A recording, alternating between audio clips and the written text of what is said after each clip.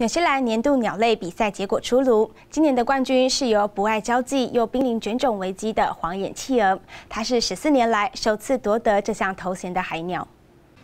黄眼企鹅是目前世界上最稀有的企鹅之一，在纽西兰南岛只剩下两百二十五只。专家表示，黄眼企鹅会用高音尖叫沟通，是一种反社会的雀鸟。而黄眼企鹅目前正面临许多威胁，例如全球暖化造成海水温度上升，影响它们觅食，加上人类捕鱼经常令这些企鹅受困渔网。主办方希望透过这个活动，唤起大家对濒危物种的保育意识。